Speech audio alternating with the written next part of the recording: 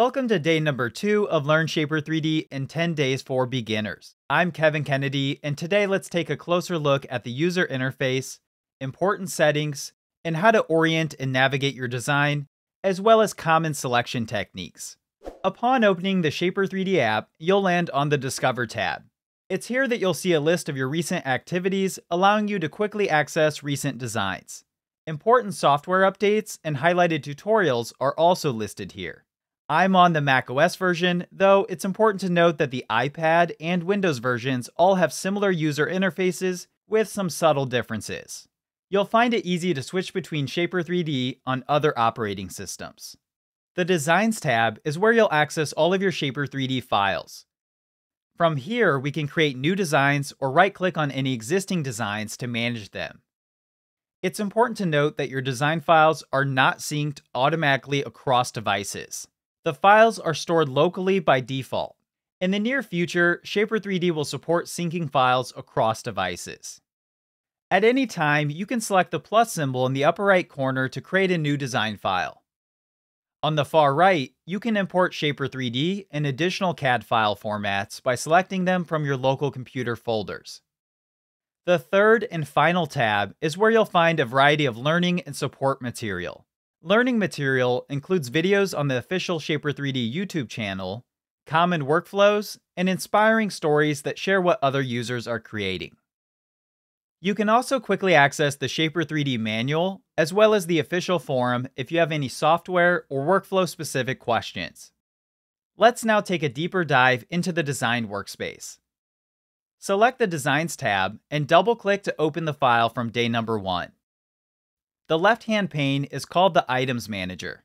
The Items Manager lists all the bodies, sketches, planes, and images that make up your design. When working on larger assemblies, you can filter by type or create folders to further organize the items in your design. We can also select items before using any of the tools, or we can select the eyeball icon to toggle the visibility of items. Right-clicking on items will allow us to quickly zoom to the item. We can also rename items, which I encourage you to get into the habit of doing. Renaming items as you create them will help you quickly find them later on, particularly with large assemblies. Notice we can also create 2D manufacture drawings from bodies or delete items.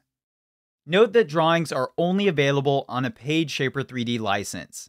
We'll cover the details of creating manufacture drawings on day number 10. Just note that any existing drawings will live in the Drawings tab.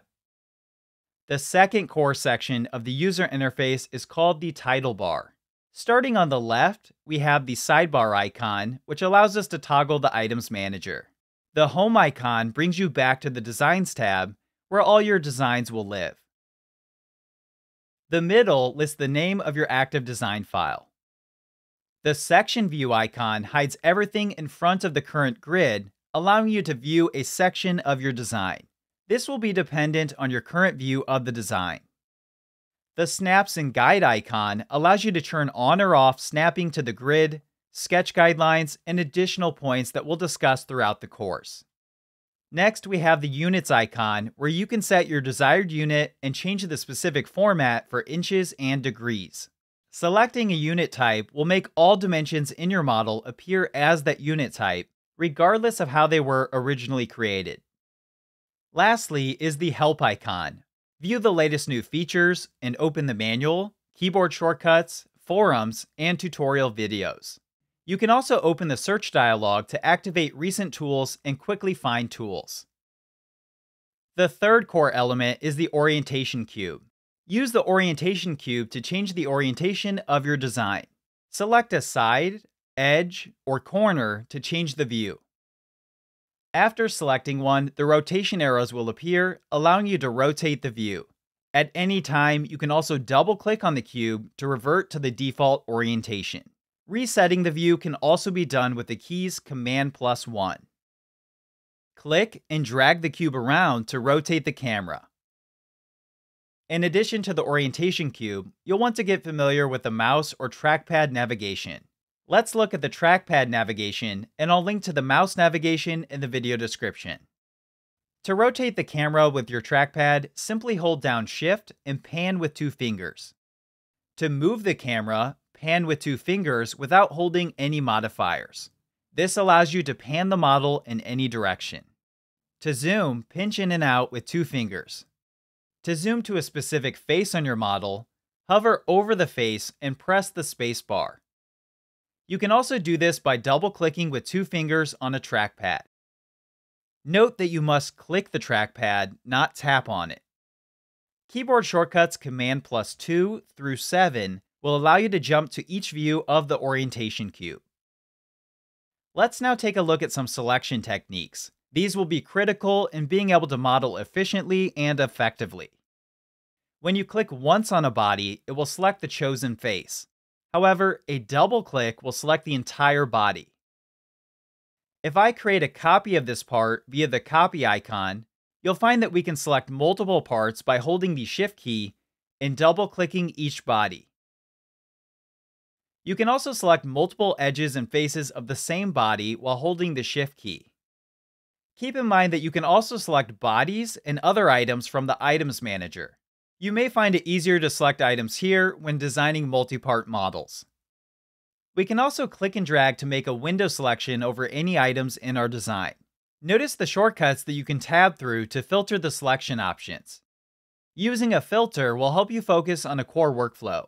For example, faces will help you extrude a closed sketch profile. The shortcut Command plus A will let you quickly select everything in your design. Use the Escape key to clear all selections. The fourth and final section of Shapr3D's user interface is the menu. Located on the left by default, you'll find that you can access the Sketch menu, which houses all the sketch tools. The Add menu houses construction geometry, images, files, and more.